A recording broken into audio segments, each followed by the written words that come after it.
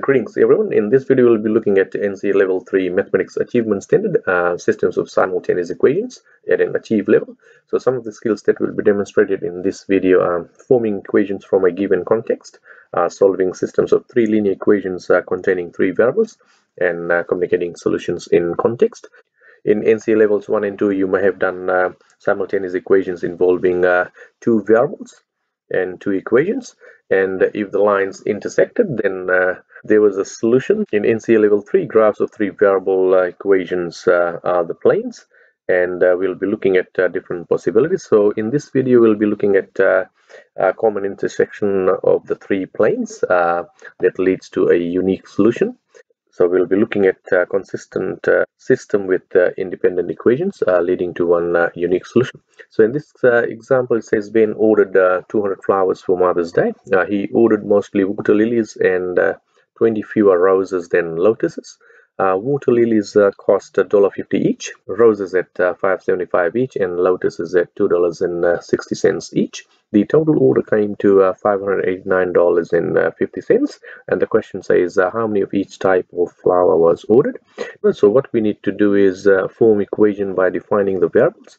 So in this case, we will let x be the number of water lilies that Ben ordered, and y be the number of roses ordered, and z be the number of lotuses that he ordered.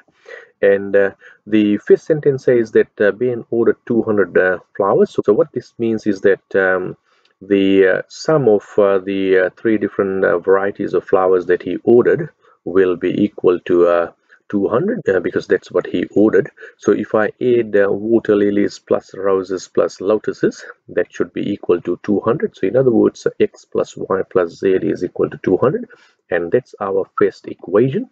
And then uh, here we got um, water lilies uh, uh, cost $1.50 each. So we've got uh, prices for each variety of flowers that he ordered and the total order came to uh, $589.50 so we'll put this information together. So $1.50 means 1.5 uh, times x and then five dollars 75 uh, times the uh, number of roses he ordered which is y plus uh, two dollars 60 which is 2.6 times z which is uh, the number of lotuses that he ordered. And the total cost was 589 dollars and 50 cents. So this is our second equation. And then uh, the third one it says uh, he ordered mostly water lilies and uh, 20 fewer roses than lotuses. So it says 20 fewer roses than lotuses. So in other words uh, this means uh, uh lotuses is uh, 20 more than um, roses. So I can put that information there as my third equation. So Z which represents lotuses is equal to uh, number of roses he ordered plus 20 now another way of putting this is 20 fewer roses than lotuses. So if I just put Y I could have also written y is equal to z minus 20 because it was 20 less than lotuses. Either way you will um, get the same answer. So now I've got all three equations. What we will need to do is um, uh, decide uh, which variable to eliminate first. So in this case it's uh, easy to eliminate um, z because we are already given z is equal to y plus 20 so what I will do is I will substitute the third equation in uh, first equation. So I will replace z by y plus 20 and likewise I'll do the same thing in the second equation. I will replace this z by y plus 20 because it says z is same as y plus 20 because they're equal. So let's quickly do that. So using the first equation so I've got x plus y plus z is now same as y plus 20 so I've got that is equal to 200 and then if I quickly simplify that x plus 2y right y plus y here is 2y plus 20 is equal to 200 and then what I'll do is I'll quickly take a constant which is 20 on the other side of the equal sign. Um, that simplifies to x plus 2y is equal to 180 and this is my fourth equation. Likewise I'll do the same thing. I'll replace z by uh, y plus 20 in the second equation. So let's quickly do that. So 1.5x plus 5.75y plus 2.6 into y plus 20 so please whenever you're substituting please uh, put the information in brackets. And then uh, what we will do is we'll try and remove the bracket by expanding and simplifying. So 1.5x plus 5.75y plus 2.6 times y is 2.6y and then 2.6 times 20 is uh, 52 is equal to $589.50. If I quickly simplify this, so 5.75y plus 2.6y like terms gives you a total of 8.35y plus 52 so you would have guessed it. Now I will move this uh, 52 on the other side of the equal sign so I will subtract so I've got uh, 1.5x plus 8.35y is equal to $537.50 so this is my fifth equation. Now if you look at equation number 4 and 5 I've got um, two variables here as well as two variables here. So I've got two equations and two variables. I will try and look at these and see which one is easier to eliminate and then we can solve for the uh, um, third variable. So in this case um, it's easier to eliminate um, x by the way because this one is 1x and this is 1.5x and the way I can do that is if I multiply the fourth equation equation number 4 by 1.5 I will have the same coefficient for x. And then we can subtract and uh, eliminate uh, variable x and then solve for y.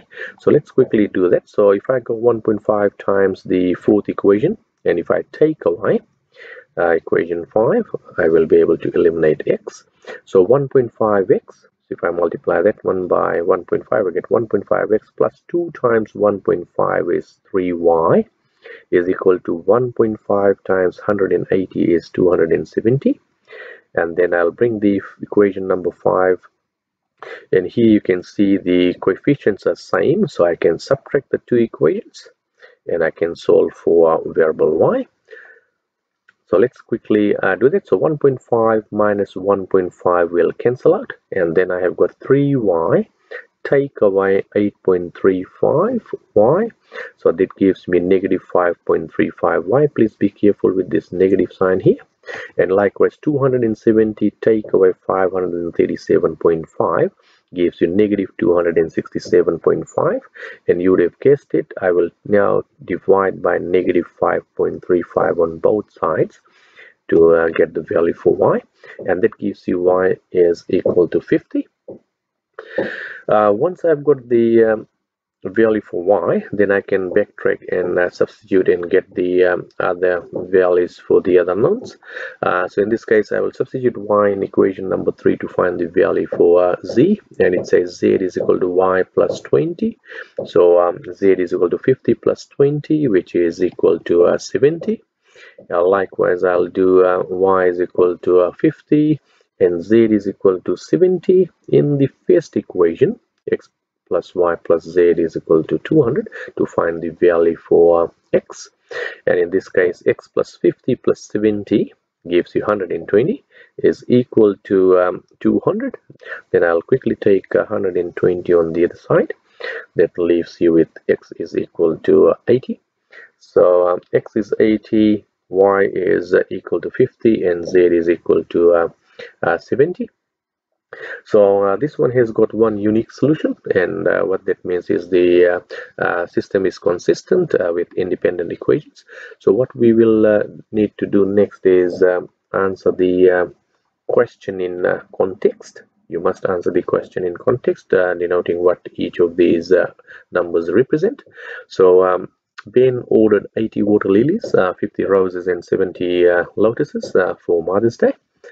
And um, Geometrically, what this means is that the three planes will have a uh, common intersection. What I would suggest is if you could uh, pause the video and uh, solve this uh, yourself and see if your answer matches with this. Uh, to achieve, you will need to uh, demonstrate two different skills. what you will need to do is form equations and solve um, systems of equations involving three equations and three variables, and then you must interpret the answer in context hope this helps. In the next video we will be looking at uh, another example at an achieve level and then later we will be looking at uh, the requirements for merit and excellence.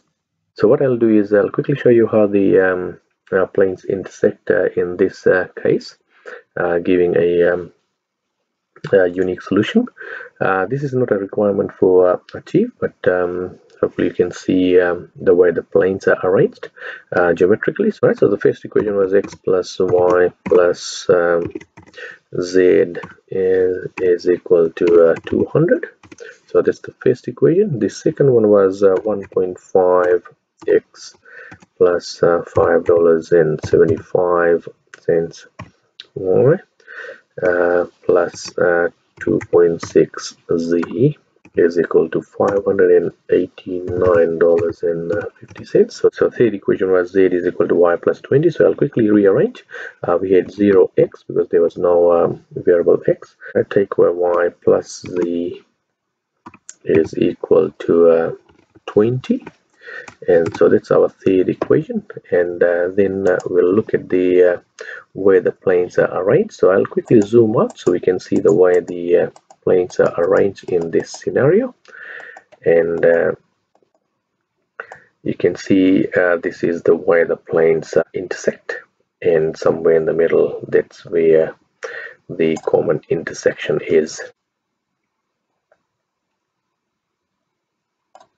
hope this makes sense. We'll be looking at another example in the uh, next video.